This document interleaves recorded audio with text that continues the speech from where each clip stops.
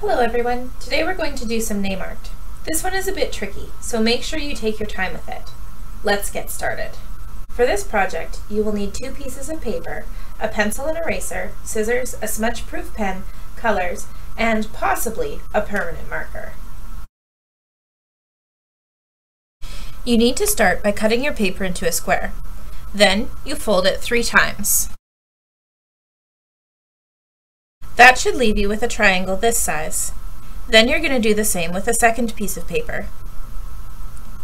When you have both of them folded, you're going to cut one of them into pieces so that you only have one of these little triangles and one whole square sheet of paper. This triangle will become your template. With your pencil, write your name or a word on the triangle I like to use bubble letters or block letters. Make sure the lines go off the top and bottom of your triangle. Once you do that, trace it with your pen, or to darken it up a bit more, use a Sharpie. Make sure you do both sides of your paper. Now comes the tricky part.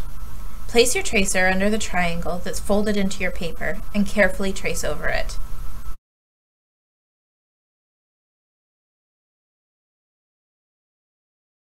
Then you need to move your tracer so the letters are mirrored on the next section. The letters won't always match perfectly, but they should be pretty close.